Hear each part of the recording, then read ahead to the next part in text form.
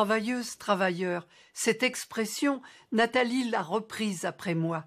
Elle résume à elle seule le camp que nous représentons dans cette société où les inégalités se creusent et où il est plus que jamais nécessaire de faire entendre nos intérêts et de défendre une perspective communiste. Elle poursuit le combat que je mène depuis toujours avec mes camarades de lutte ouvrière. Alors votez et faites voter pour Nathalie Arthaud. Nous les travailleurs, nous sommes forts quand nous avons conscience d'être unis par les mêmes intérêts et par la nécessité de les défendre ensemble. Les élections ne nous changeront pas la vie, mais elles peuvent nous permettre d'exprimer nos objectifs politiques nécessaires pour gagner les luttes de demain. Le combat commence dans les têtes. Avoir une conscience claire de notre but, c'est le début de ce combat. Alors, le 23 avril, je vote Nathalie Arthaud.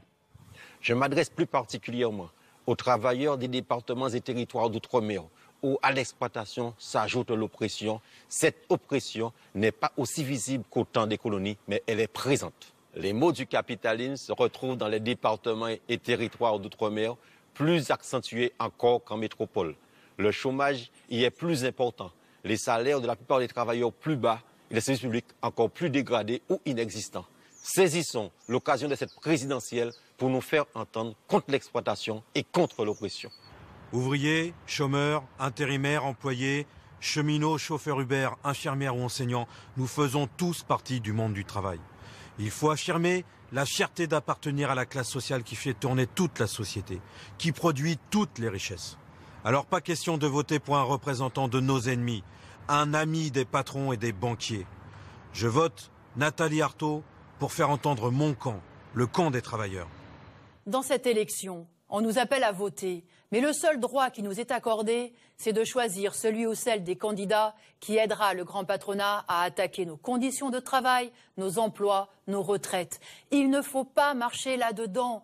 Quand on est ouvrier, employé, chômeur, retraité, voter pour l'un ou l'autre de ses prétendants à l'Élysée, c'est voter contre son camp, c'est accepter d'être trompé et sacrifié. Nous, travailleurs, devons mettre en avant notre politique, notre programme. Il faut interdire les licenciements et les plans de suppression d'emplois, à commencer par les entreprises qui font des bénéfices. Il faut créer des emplois et se répartir le travail. Cela nécessite d'imposer nos intérêts contre ceux du grand patronat et de l'État. Et il faut augmenter les salaires.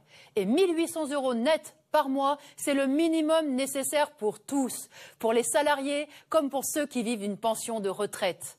La grande bourgeoisie dissimule ses profits derrière le secret des affaires. Il faut le supprimer pour imposer le contrôle des travailleurs sur les entreprises. Ce programme découle de nos besoins. Votez pour faire entendre le camp des travailleurs.